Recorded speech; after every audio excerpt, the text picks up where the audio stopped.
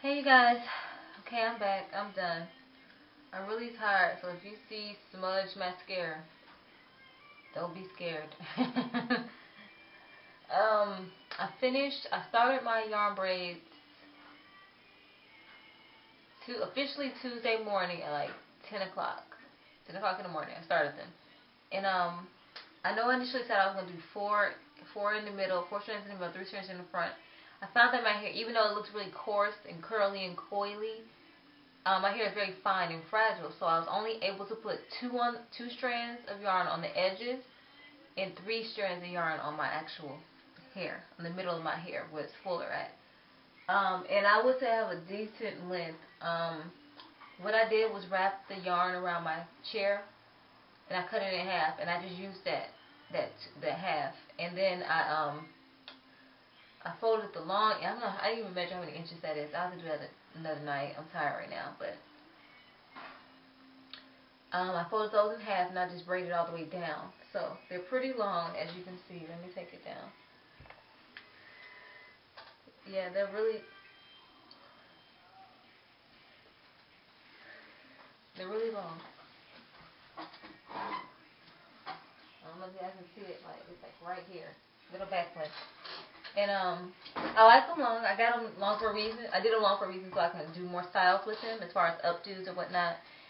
And um, everybody likes them. Everybody likes them. They say they like dreads. They like locks. Locks. I don't want to say dreads. Locks.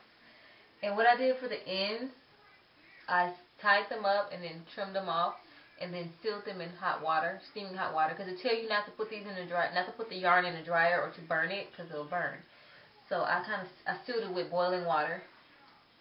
And um, I wish the ends. I probably got to find a new technique, or when I next time like see these right here like really frayed.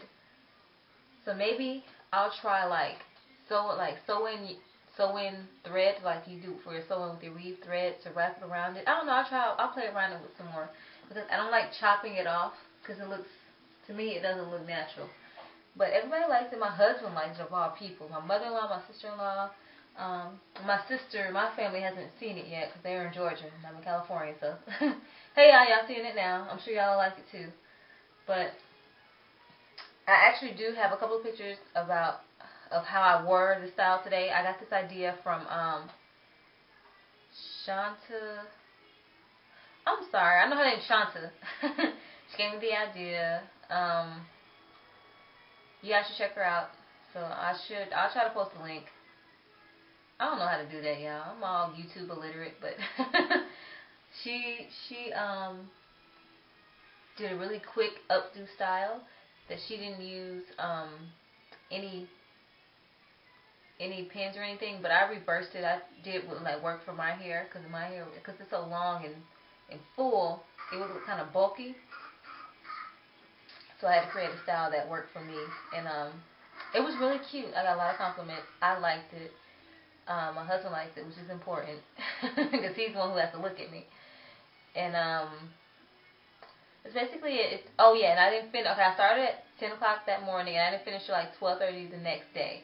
The only reason it took me that long is because I have kids, and my husband was out of town taking the bar. Well, he wasn't out of town. He was taking the bar, and so I didn't really have help with the kids, so it took me a long time. But I like this hair. Uh, I got the yarn. It was Red Heart yarn from Walmart for like two dollars and forty seven cents. And then I bought some um, pipe cleaners. I want to try to curl the dread, the locks with pipe cleaners. I saw a tutorial on that, so I definitely try to do a tutorial when I do it. I'll try it out first. Like now that I know how how to do these, I'll do a tutorial on these. Because after about a month and a half, I'm probably gonna take them down and redo them. But after about two or three weeks, I redo the front and the edges, and then I, you know, so they won't start looking peachy. But this is my first time ever braiding like a full head of hair. I know I did my bohemian curl, but I just did the front for that, and maybe a couple of in a couple of track, uh, a couple of braids in the back. But this I did my entire head, and um, it came out really nice. I like it. I think it frames my face very well. So sometime in the near future, locks might be there. I don't know. I'm just enjoying my natural hair right now.